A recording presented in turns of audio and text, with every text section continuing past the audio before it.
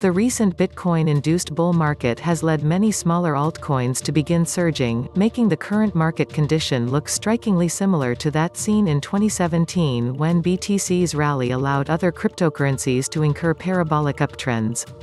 One example of a relatively small crypto that has seen insane gains over the past couple of days is Hedera Hashgraph, which was able to post an over 300% rally in under 48 hours, with this rally coming about after news broke that Google is taking an active stake in the public network's governance. Interestingly, it appears that search trends relating to the key phrase, Hedera Hashgraph, seem to give traders some insight that a major movement was brewing before its price began climbing.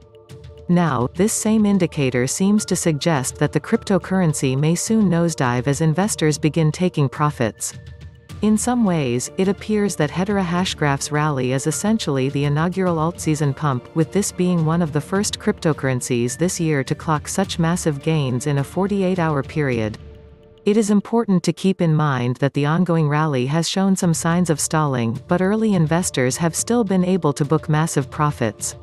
The rally, which first kicked off early yesterday, reached a boiling point today when the token reached highs of over 8 cents, which marks an over 300% increase from its weekly lows of $0.019. Although it has declined slightly from these highs to its current price of $0.063, the crypto is still trading up 90% over a 24-hour trading period, and over 200% from its weekly lows.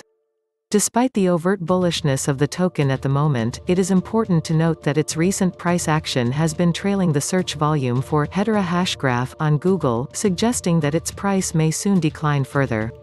On February 11, just a few hours prior to the crypto's parabolic rally, search volume for this term began spiking, suggesting that a flood of retail investors were about to pour capital into the token. This volume continued growing until roughly, which was also just a few hours before the crypto peaked and began its descent to its current price levels. Now, as can be seen on the chart below, search results for the aforementioned key phrase are once again plummeting, suggesting that the crypto could soon see a further decline in price.